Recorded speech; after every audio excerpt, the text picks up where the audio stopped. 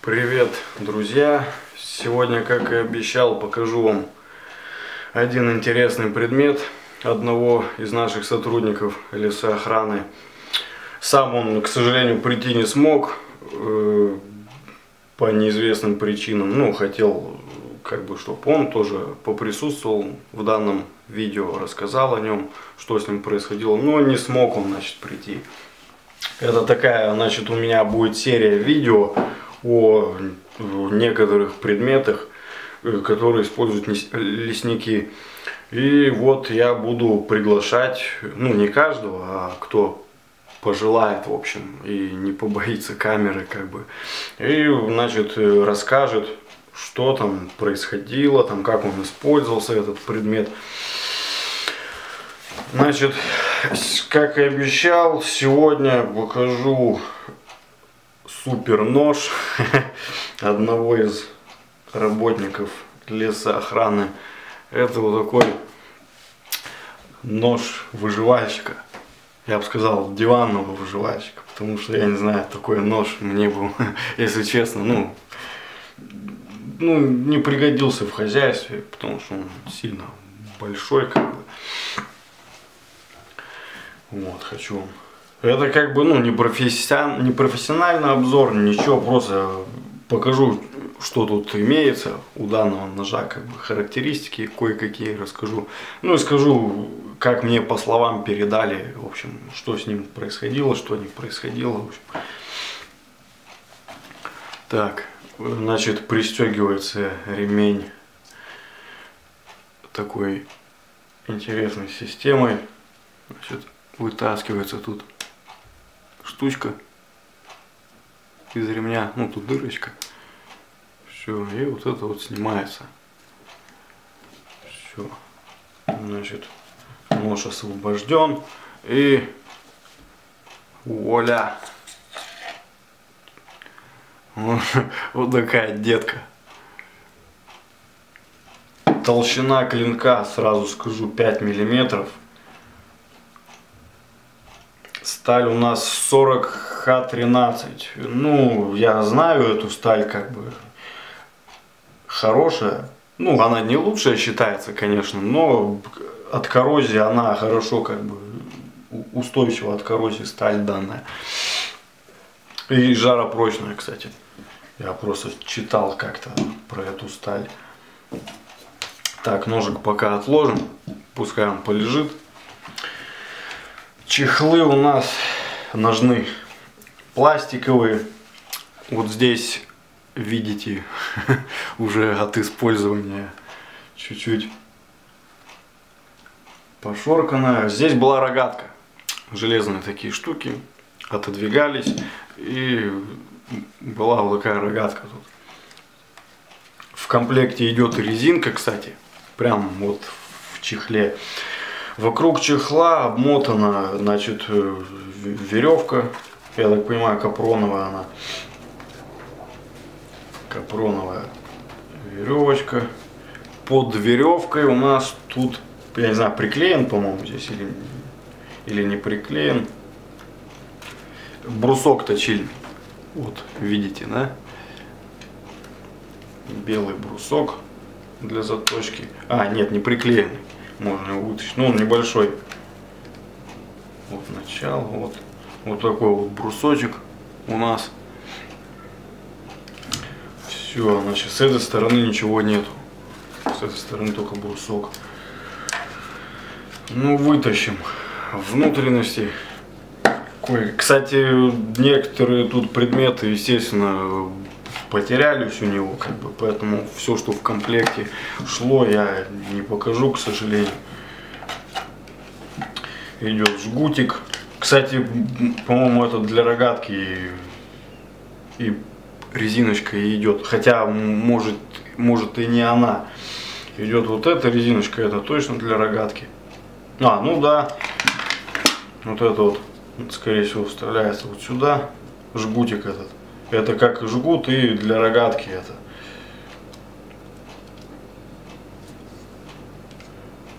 Возможно, как-то. В общем, я не знаю ее технологию, как бы. Ну, возможно, это для рогатки жгутик. Ну, а больше для чего? Так, внутри данных, данного чехла, значит, для ножа имеется ножичек скелетного типа.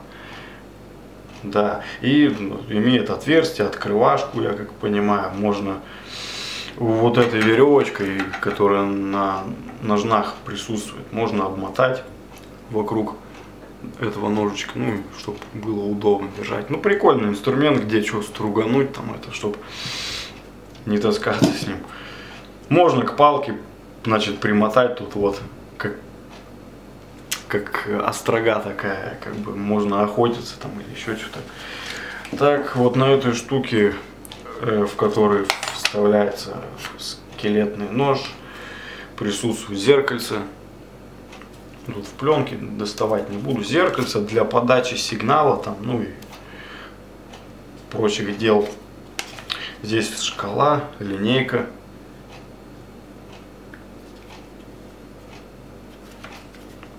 Так, это пока мы оставим. Сразу, да, я предупредил, что тут э, комплектация не полная, тем более сейчас у производителя этого ножа какие-то обновленные там э, составляющие.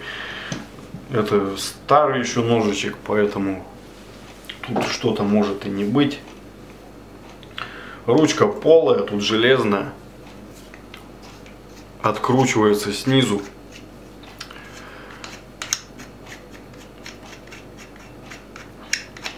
Жалко, конечно, что не, ну, товарищ не смог тоже сняться на видео и рассказать там о нем что-то. На крышке, которая откручивается, рукоятка, значит, компас по точности по точности. Ну, я просто дома нахожусь, я знаю, где здесь север, где юг, как бы. Ну, показывает он неправильно. Ну, конечно, тут всякие металлические предметы, как бы это на улице надо смотреть. Ну, пока, значит, неправильно показывает он. Хоть и в одну сторону. Так, дальше в ручке присутствует контейнер. Контейнер непромокаемый такой Туда можно что угодно положить. И пружинка. Пружинка для того, чтобы значит, вот этот вот сам контейнер легко вытаскивался вот отсюда. Пока все положим. В, в контейнере, вот она все плотно закрывается. В контейнере, ну я не знаю, доставать, не доставать. Леска, спички, круч, крючки, иголка, нитки Э, карандаш, насколько я знаю, там присутствует в этом контейнере. Ну, по крайней мере, должен присутствовать. Так что, ну, я знаю, кстати, что в новом ноже, ну, в обновленном, там просто сейчас э, новенькие у производителя ножи, там и пластырь, там и пинцет, скальпель, ну, по идее, у них, ну, я читал, просто заходил. Здесь вот, к сожалению, такого не было. Но все же это, какие-то тут спички, наверное. Да нет, они еще пригодные, я думаю, зажгутся. Наверное, мы с вами сейчас попробуем поджечь просто-напросто. Да и все. Я думаю, Алексей не обидится. Но зато проверим, работают после стольких лет. Он, кстати, говорил, что они у него и в сырости хранились, прям в чехле как бы. И ничего, вот я вот смотрю, никакой он никакой даже нигде коррозии не проявляется там. Абсолютно чистый нож, причем он его использовал. Ну, он не так активно, конечно, использует э, нож, как, например, я свой, но тем не менее. Так, смотрим. Правда, я спичку сразу потушу, чтобы тут не пахло. Пробуем. Так, кусочек отлетел. Кусочек отлетел, может, вот видно будет. Попробуем еще. О, горит, видите. Ну я сразу затушу предупреждал. Так, спичку ставим сюда.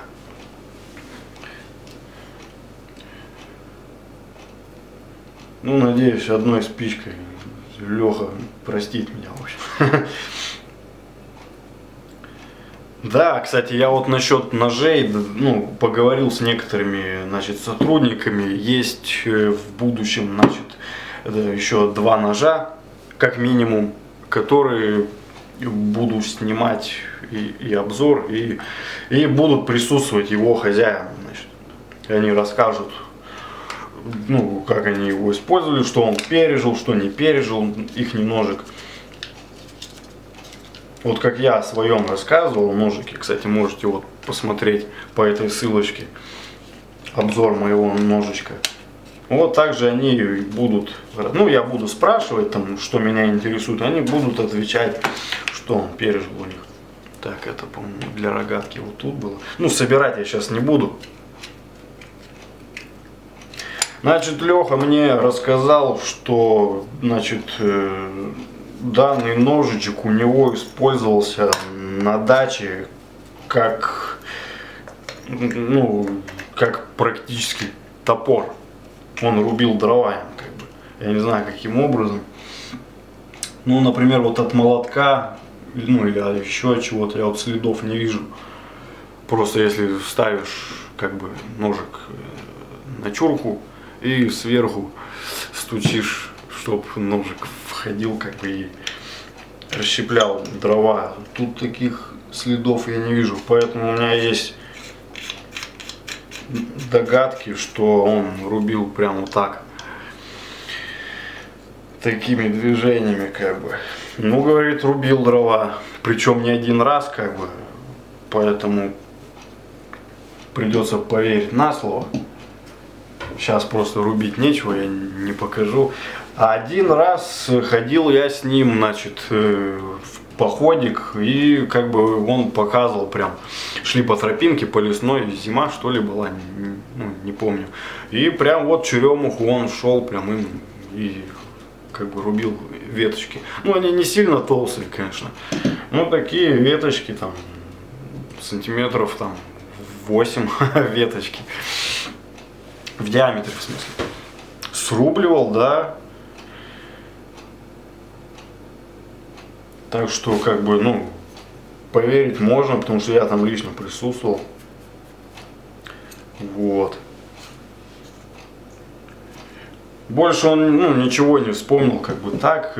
Говорил, где порезал овощи, там, лук, говорит, чист, ну, в смысле резал. Правда, вряд ли он резал, он, скорее всего, ломал только. Тут таким ножом лук порезать не получится, мне кажется. Ну, резал овощи всякие, там, фрукты, фрукты, не фрукты, там, ну, про овощи он рассказывал. Больше так он, я его спрашивал, больше ничего он не вспомнил такого, что можно было рассказать. Такой ножичек, как бы, он использует. Ну, про характеристики могу вам рассказать, как бы, у него общая длина 35 сантиметров, общая длина ну, то есть от э, рукоятки до кончика лезвия.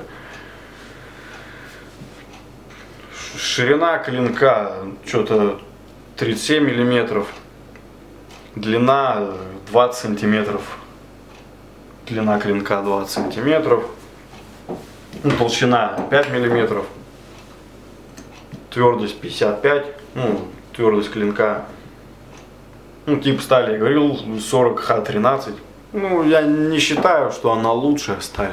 Тем более я ну, не очень в металлах разбираюсь. Это добро пожаловать на канал к Саше Винину. Кстати, привет его каналу.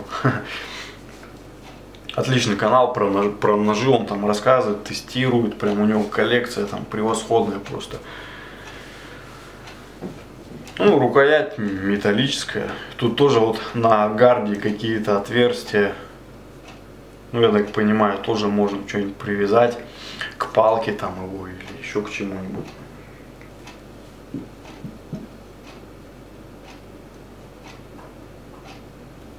Ну, на этом, я думаю, обзор, как бы, значит, мнение стоит закончить.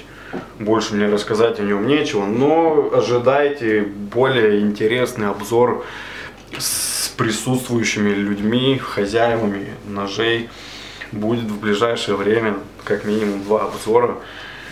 Там хорошие ножи у ребят. Используем их они нам в лесу. Нужны порой бывают. Так что всем спасибо за просмотр. Ожидайте дальнейшие видео. Подписывайтесь на канал, делитесь видео. До свидания.